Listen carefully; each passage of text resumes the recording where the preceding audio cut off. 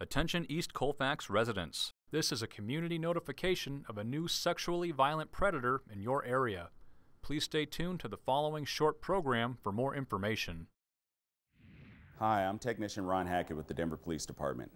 The Sex Offender Registration and Compliance Unit at DPD is responsible for the registration, monitoring, and tracking of all registered sex offenders and sexually violent predators who live in the City and County of Denver. Here's a brief history of sex offender legislation in Colorado. Our state laws trickle down from federal government mandates. In 1994, we had the Jacob Wetterling Act, which mandated that states would establish a sex offender list. Megan's Law of 1996 said that the public would have access to those sex offender registration lists. The Pam Lychner Act of 1996 stated that some offenders might have to have lifetime registrations and the Adam Walsh Act of 2006 unified sex offender laws across the country. In Colorado, the legislature has determined that sexually violent predators, by definition, pose a higher risk to the community at large, and therefore mandated that upon their release from the Department of Corrections, the community must be notified. Sex offender notification in Colorado happens in two ways. The first is passive and ongoing through the sex offender registration process, which is a list maintained by local police departments. The second way is active, via community notification for those offenders determined to be sexually violent predators by the courts or by the parole board. Most sex offenders in Colorado are supervised by the criminal justice system in our communities. Most sex offenders engage in crossover behavior, which means they may have been arrested for one type of crime but be apt to commit another. Many sex offenders have no criminal history at all prior to their arrest. There is no typical sex offender but all tend to be deceptive, manipulative, and secretive.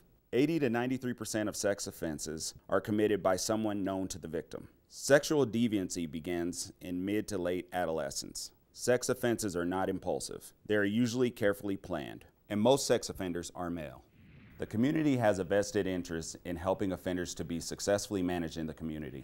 Sex offenders have the same need for housing and employment as any other citizen. Any citizen who uses sex offender information to harass, threaten, or intimidate an offender will be subject to criminal prosecution. There are approximately 16,500 registered sex offenders in the state of Colorado. About 65% of convicted sex offenders are placed in the community on probation. The remainder are in the Department of Corrections or Community Corrections. Offenders may be caught for one type of offense, but be at a high risk to commit another type. Crime of conviction is only one indicator of risk. A sexually violent predator must register with the Denver Police Department Sex Offender Registration Unit every three months for the rest of their life. The offender's residence must be verified quarterly by the Denver Police Department. The full sex offender registration list is available by calling the Denver Police Department Identification Bureau at 720 913 6756 Convicted felons and those with multiple convictions are posted online at denvergov.org slash police. Remember, sexually violent predators do not represent all dangerous sex offenders. The community notification process and sex offender registration are not a complete deterrent to sexual assault. Now, here's a look at the newest sexually violent predator living in Denver. Here's an overview of the registered sex offenders currently living in Denver. There are 2,267 total living within city limits. In Denver Police District 2, there are 394. Precinct 222 has 46 registered sex offenders. Of those, 32 have felony convictions and 14 have misdemeanor convictions. Anthony William Fritz is a sexually violent predator currently living in Denver. He is 35 years old and was born on September 6, 1979. He's a Hispanic male, 6 feet 5 inches tall, 225 pounds, with brown hair and hazel eyes. He's currently living at 5500 East Colfax Avenue in the East Colfax neighborhood of Denver. Schools located within one mile of this offender include Denver School of the Arts at 7111 East Montview Boulevard, St. James School at 1250 Newport Street, Montclair School at 1151 Newport Street, Denver East High School at 1600 City Park Esplanade. Parks located within one mile of this offender include Crescent Park, Dennison Park, Fred M. Thomas Memorial Park, Greenway Park, Montclair Park, Verbena Park, and William H. McNichols Park. Recreation centers located within one mile of this offender include Montclair Recreation Center at 729 Ulster Way. Bus routes located within one mile of this offender include Route 10, East 12th Avenue, Route 105, Havana Crosstown, Route 15, East Colfax, Route 15L, East Colfax Limited. A brief history of charges against this offender attempted sex assault on a child. He was discharged from Colorado parole on January 28, 2015, and registered with the Denver Police Department on July 15, 2015, to 5500 East Colfax Avenue in the East Colfax neighborhood of Denver.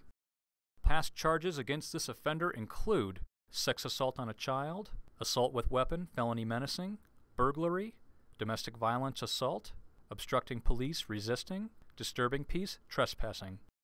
Anthony William Fritz has been determined a sexually violent predator after meeting the following criteria. Criteria 1 Age 18 or older on the date of the offense, or under 18 and tried as an adult. The offender was age 30 at the time of the offense.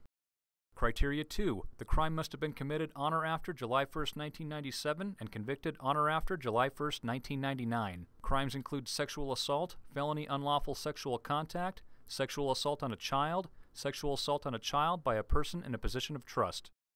The offender was arrested on July 1, 2010 for sex assault on a child and convicted February 14, 2011.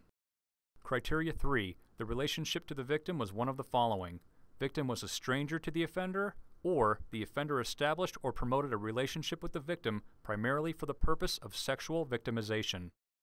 The offender was known to the victim. Criteria 4 Positive results are the passing of a risk assessment instrument administered by probation parole staff and a qualified treatment evaluator. Positive results include an assessment for the presence of a mental abnormality, a level of denial regarding the offense, treatment appropriateness and motivation, presence of sexual deviant interests. The offender was evaluated by the Jefferson County Courts for the classification of a sexually violent predator. The test concluded with positive results, determining him to be a sexually violent predator.